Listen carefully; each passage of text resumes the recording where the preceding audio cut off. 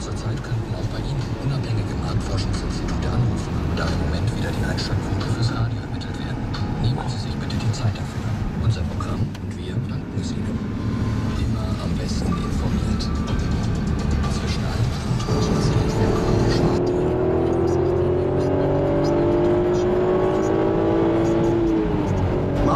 it's one.